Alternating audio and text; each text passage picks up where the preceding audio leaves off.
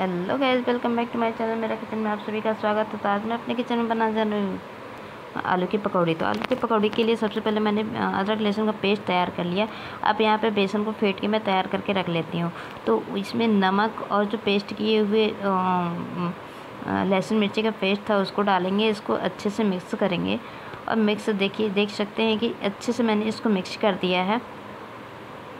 अब यहाँ पे मैं एक लौकी और आलू को मैं कट करके तैयार कर लेती हूँ।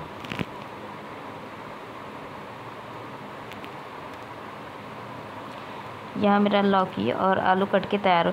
इसको मैं बनाने से पहले थोड़ा सा भाप देती हूँ, ठीक है? यहाँ मैं बेसन के पानी में थोड़ा सा इसको डाल दी हूँ। इस ये थोड़ा सा भाप लग जाता है ना तो ये आलू पकौड़ी बनाते समय कच्चे नहीं रहते हैं और ज़्यादा इसको तेल में पकाना नहीं पड़ता है।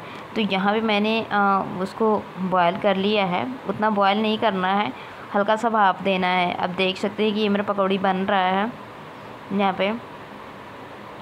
और इस पकौड़ी को बनाने में मुझे ज़्यादा टाइम नहीं लगेगा, क्योंकि मैंने ऑलरेडी उसको भाप दे दिया है, ठीक है? और भाप ना देने से क्या होता है कि तेल आलू बिल्कुल कच्चे रहते हैं, जिसको तेल में जो है अच्छे से ज़्यादा तेल लगता है और नुकसानदायक भी होता है। तो अगर मेरी वीडियो अच्छी लगे तो please like like comment share करना ना भूलें।